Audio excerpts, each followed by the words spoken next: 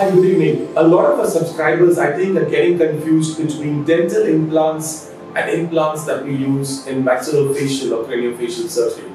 So I'm going to tell you some of the differences between two and how you mustn't get confused.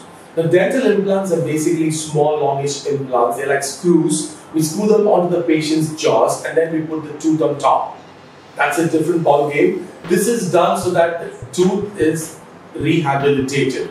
Or we're getting the patient ability to by getting artificial fixed teeth. Now, maxillofacial implants are different. They're usually plates and screws. So these plates are tiny plates. They can also come in the form of meshes. Plates could be a long one, the plates could be squarish shaped, plates could be L shaped, X shaped, Y shaped. We get different types of plates, different types of systems. Yes, we do have them in the dental implants as well. Different companies making different implants. But what I'm trying to tell you is these implants which we use in maxillofacial surgery, after we move the jaw, let's say we're moving the chin forward by 8 millimeters or you're getting the whole jaw forward by 7 millimeters, we use these plates and screws to fix the jaw in the new position. So that's the difference now.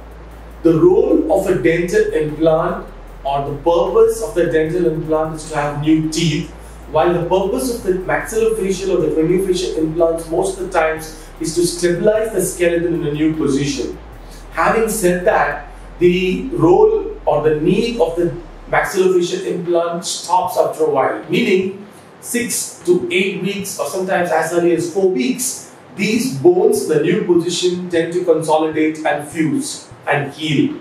Once healed, these implants are of no use. We can actually remove and throw them. We don't do that nowadays. The need isn't there much because we're using high quality titanium implants, be it Indian or German. While a dental implant, you really don't have to remove them at all. You shouldn't.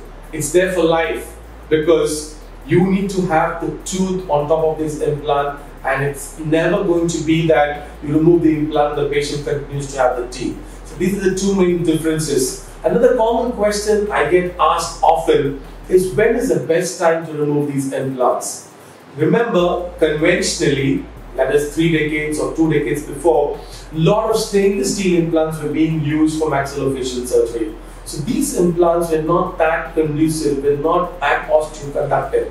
Therefore, a lot of them, maybe around 20-25% of them, tend to be removed later on, maybe from six months onwards. Currently, in our practice here at Richardson's, we hardly remove these maxillofacial implants using titanium, good quality implants, and when you place them in the right place, they basically just stay there for life. Um, we've had a couple of cases when they went through these detectors at the airports, it made a lot of noise and there was a lot of concern. So in those patients who are traveling a lot and these implants can be removed easily, in most cases they can be removed easily once the job of uh, getting the bones together and consolidating is done is over. So that's the two main differences with the uh, dental implants and the maxillofacial implants.